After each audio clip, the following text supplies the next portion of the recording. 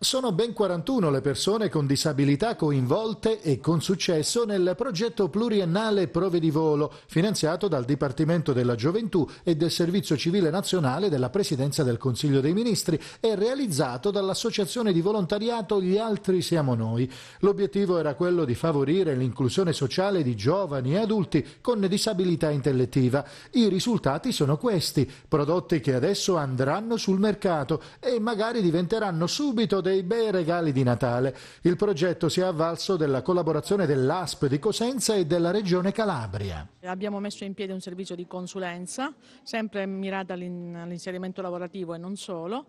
un servizio di valutazione delle competenze dei ragazzi in partenza e a fine programma, diciamo attività che noi svolgiamo, un servizio di inserimento lavorativo che è stato realizzato in collaborazione con l'azienda sanitaria di Cosenza. E poi abbiamo praticamente avviato una serie di attività laboratoriali di preparazione al lavoro, sette in tutto i laboratori,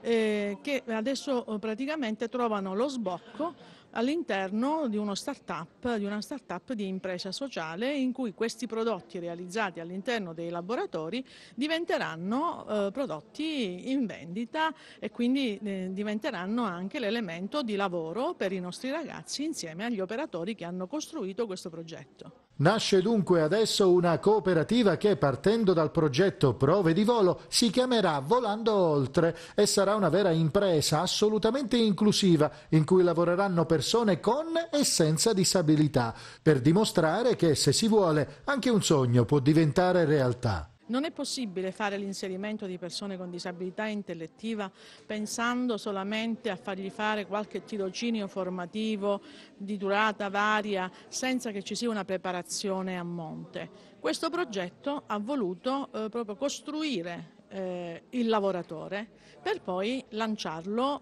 in maniera che possa avere successo all'interno del mondo del lavoro.